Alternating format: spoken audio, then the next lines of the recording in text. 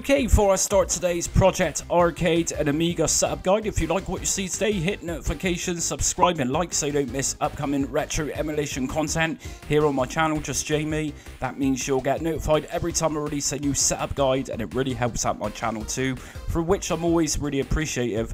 So we're talking about Amiga today for Project Arcade. If you're new to Project Arcade, check out my playlist and I'll leave a link in my description for the initial setup guide for this. So we're looking at all the Amiga systems today. Of course, we're not going to be doing the so-called Amiga CD TV because it wasn't an Amiga, that was literally Commodore CD TV, regardless of what it says in Project Arcade. So we're looking at the Amiga 500, the Amiga CD32, and the Amiga 1200. I'm not going to bother with the Amiga 4000 model today, uh, but we're going to work on these. So what we're going to do first of all is go into the Project Arcade directory. We can actually do that by right clicking on the Project Arcade shortcut, go down to open file location, and we're first of all going to go into the BIOS folder just here, and we're going to work with the A500 model first, this is likely the most popular game-wise. Now, we're going to need some Kickstart files for this. If you don't know where to get them, head over to Amiga Forever. It's a great package and you get your Kickstart files with that. These three just here are what we need for the A500 games or model. So we got kick 33180.A500 followed by kick 34005.A500 and we finally got kick 371 75.A500. So these are what's considered as your BIOS files for Project Arcade. What I'm going to do is just put these into my BIOS directory Next up, we're going to just go into the CD32 this time round, and we're going to need a separate BIOS file for this. In fact, we got two here. So for Amiga CD32, we need a kick 460.cd32, followed by the kick 460.cd32.ext, which is, of course, extension. So we're going to copy both of these two into the BIOS folder.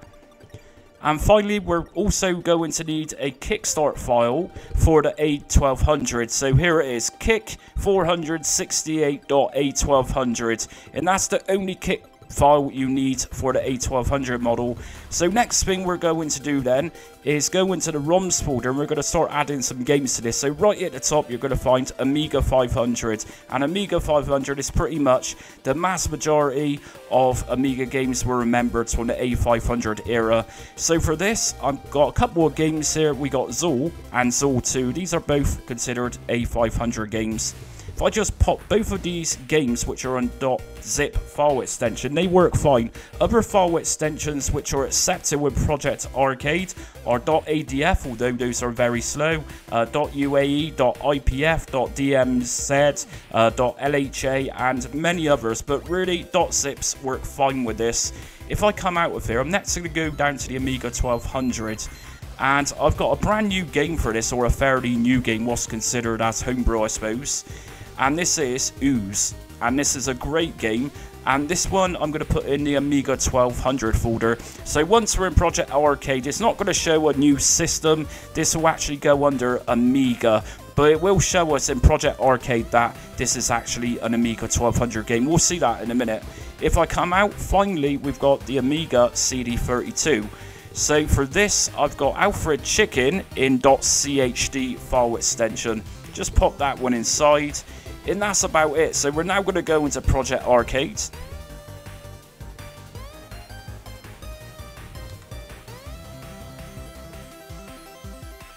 And here we go then, so we're inside Project Arcade and we should find Amiga and we got Amiga CD32. So like I just said, there isn't an Amiga 500 and Amiga 1200 symbol, both of those models will qualify just as Amiga. If we go inside, we can see here, Ooze is Amiga 1200 because I put this one in the A1200 folder, and we got both of these A500 games. If we go into CD32, we got Alfred Chicken. Now, let's just check the options menu. If I press select on my controller and go to advanced system options, Everything here works fine with Auto. It's going to be using PUAE, which is a Retro RetroArch Retro core, and this should open up fine. So I'm going to go to Start New Game. And here we go. So complete with decorations, which looks pretty cool. We can actually disable those, which I'll show you in a minute if you're new to Project Arcade.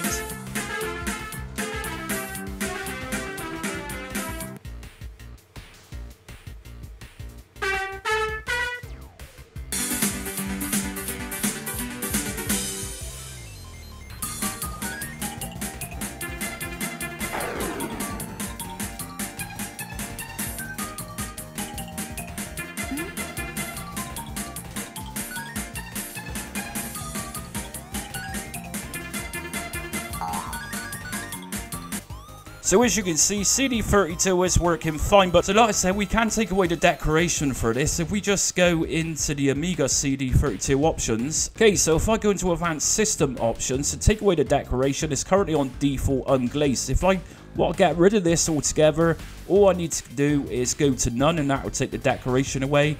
We can go to game aspect ratio for CD32 by auto. This is going to be set to having those black bars on the side.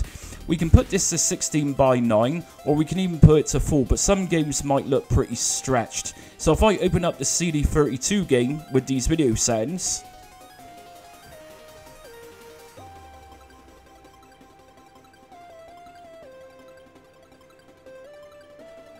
And there we go. So no decoration, so we got a full screen.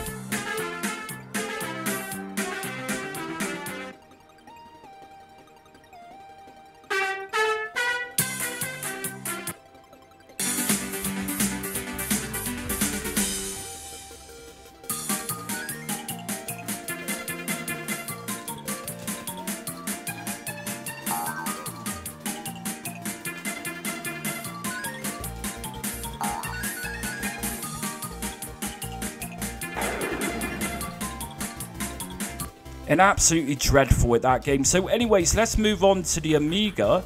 And so we're going to start with Amiga 1200. So if I open up the view options in here as well, advanced system options, everything's set to auto. If we just open up Ooze. And here we go. So this one's determined by the decorations, which clearly says A1200 on the left hand side.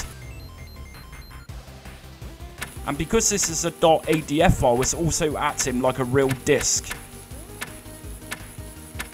So you've got that very nice clunking noise of the disk drive itself.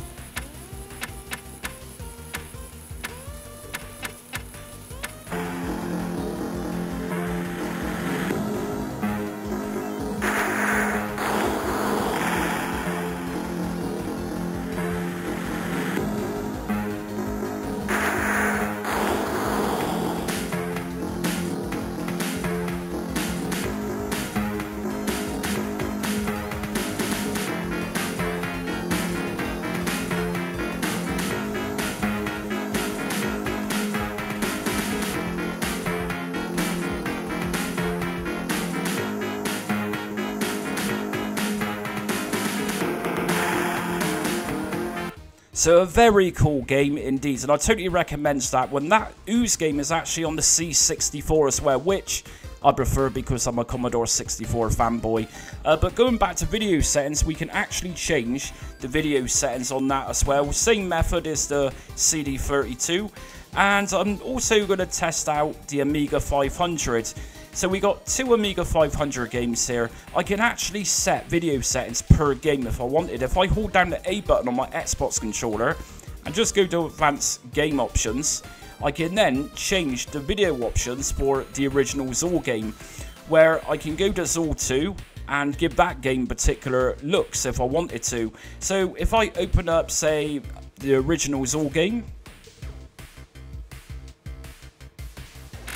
And here we go. So this time we got the Commodore A500 rather than the A1200 because I put this game into the Amiga 500 folder. Now let me just remind you, because we're using RetroArch, if you press spacebar, you can actually fast forward.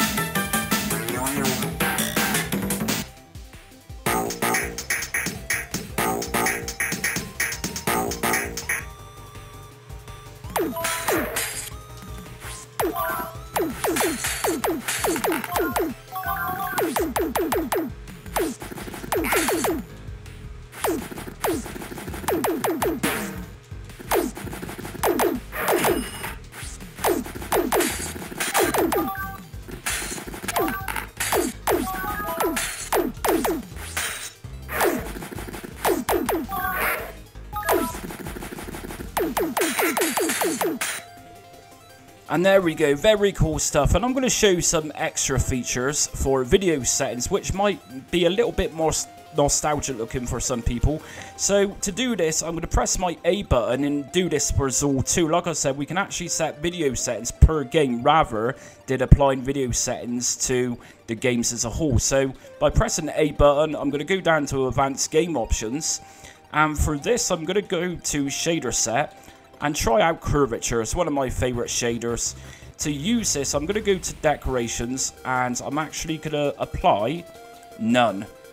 And game aspect ratio, I'm going to try this one on 16 by 9. It might possibly look a little bit stretched, but you can always use full screen if needs be on that.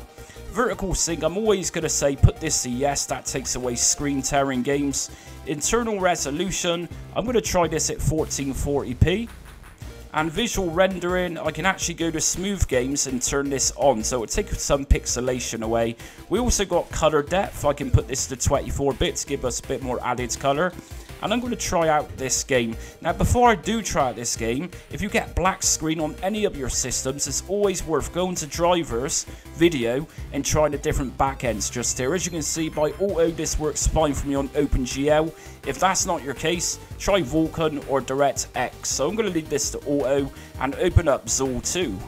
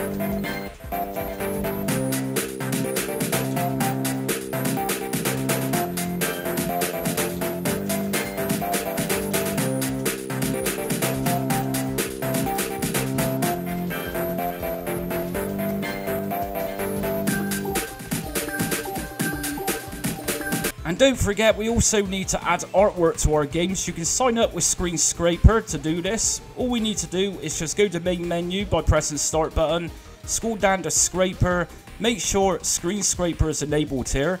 Under Scraper settings, I'm going to leave these settings as they are, so image source, box 3D, and so on. At the bottom here, you can pop your username and password from Screen Scraper. Next thing we're going to do is just go down to systems included and I'm going to select none. Then I'm going to just pick out the systems I want artwork scraping for. So we got Amiga, OCS, ECS and Amiga AGA and Amiga CD32. So I'm going to just select those, go back and then scrape now. Okay, once that's finished, we're going to go to game settings, update game list and yes. If I go into CD32, we now got artwork. And if I go into the Amiga folder, we've got Ooze, which has got a really nice box art just there, but no preview video with this one. And here we go, so Zool hasn't scraped, and the reason that is is because we've likely got underscore version 1.3. If we just quit out of Project Arcade, so start and then quit Emulation Station, what we're actually going to do then is go back into the Project Arcade directory, and it was an Amiga 500s game. So I'm going to go into our Amiga 500 folder And just here, if I right click on the game file, show more options, rename, if I take away the underscore version 1.3 and just leave it as Zool.zip, it's quite likely going to scrape this time. So if I go to Project Arcade,